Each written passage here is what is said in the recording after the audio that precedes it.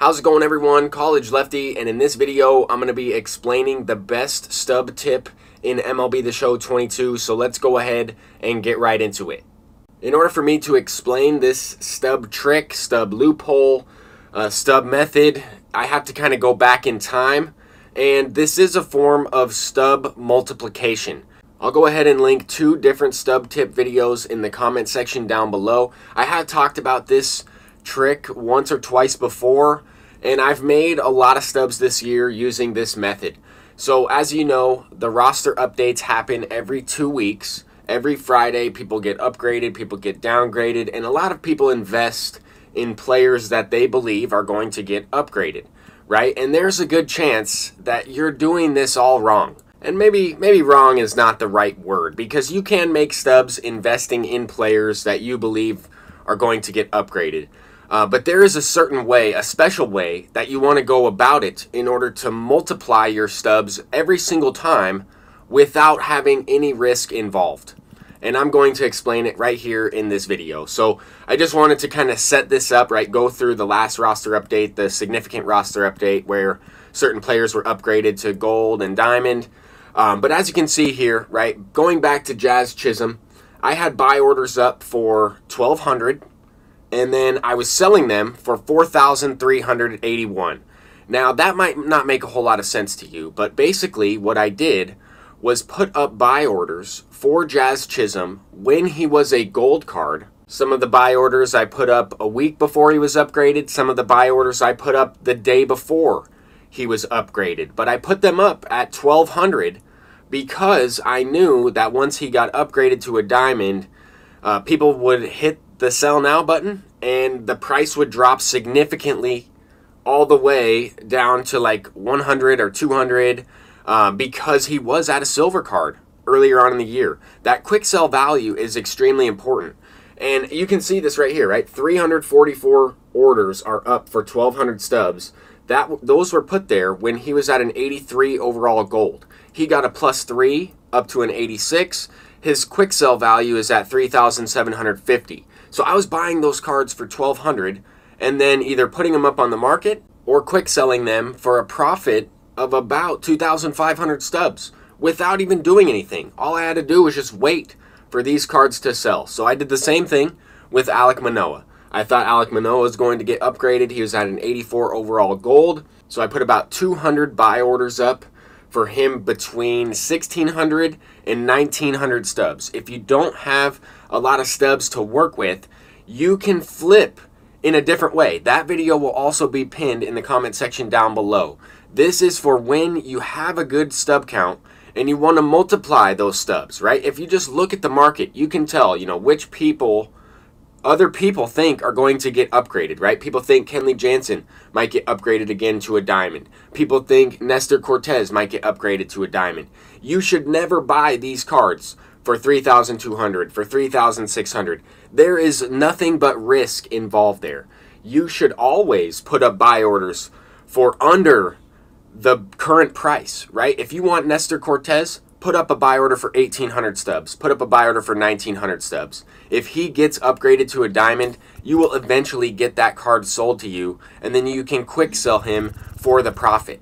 Don't buy him for 3000 when right now his quick sell value is 1500 don't buy him for 3000 he needs a significant upgrade in order for you to make a profit. That person that had a buy order up for Nestor Cortes for 3200 something there's a good chance they're about to lose out on 200 stubs even if he gets upgraded to a diamond. Because his quick sell value is 3k he's not going to go for more than 4000 stubs on the community marketplace. What you should be doing is exactly what I'm doing right here. If you notice, I have buy orders up for Rafael Devers for 1200 I still have buy orders up for Sandy Alcantara at 186 or 150 250 300 when he was a silver card. He got a plus 5, he got upgraded to a gold.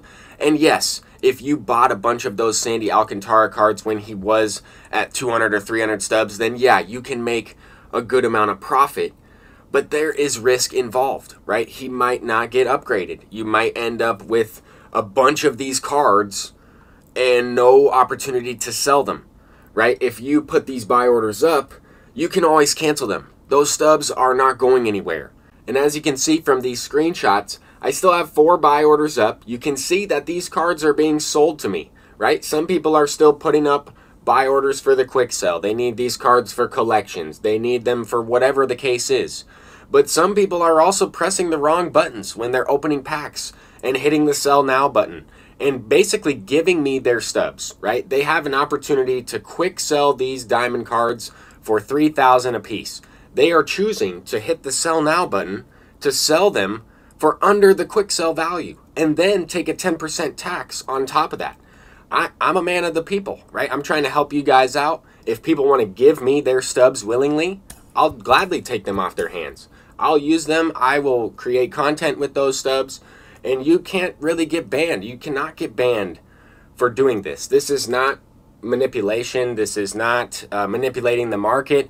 This is patience, right? This is just putting up buy orders, waiting. The cards get upgraded, the cards get downgraded. There is just less risk involved with this type of stub method. This is the best stub trick anybody will tell you. I put these buy orders up three weeks ago. I've been waiting for three weeks for these cards to get sold and look at that. They are now going through. I have way more. I have way more buy orders up there. I have probably 155 left that still need to be sold out of my 200. And I invested, what what is 16 or 1700 times uh, 201? We can do some quick maths real quick, right? 17 times 20 is 34. We'll add a couple zeros. So about 340,000 stubs invested. And when I quick sell these cards, if all of them go through, when I quick sell them, I can make about 600,000 stubs back.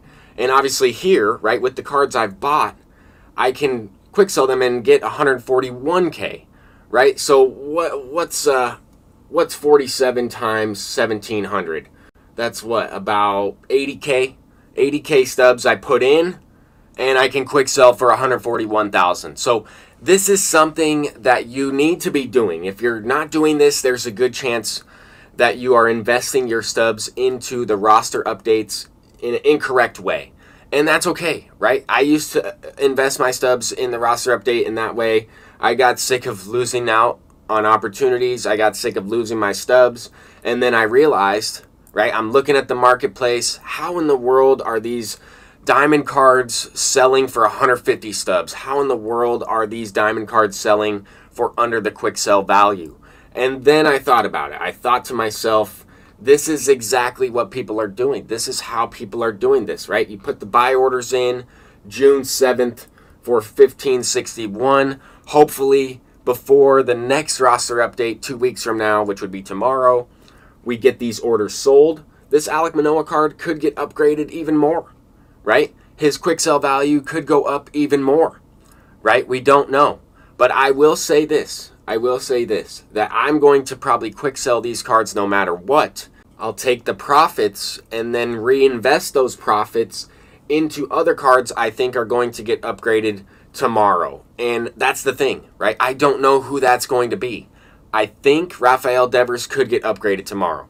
I think Sandy Alcantara could get upgraded tomorrow. Those two players are probably the two guys that I would invest in, that I would do this type of method with. And those are two players that I've kind of already done this method.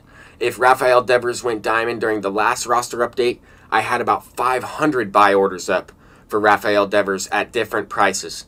And I probably would have been able to make about a million stubs or about I would have ended up with about 1.5 to 2 million stubs, somewhere in that range, depending on how many of them went through.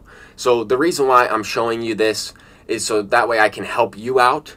And I know that some people might, you know, put their buy orders up for prices a little bit higher than mine. That's okay. That happened with Jazz Chisholm. This still worked out. But that is really going to do it for this video. I'm College Lefty, and hopefully I can help you make your stubs and get those diamonds in Diamond Dynasty. Peace out.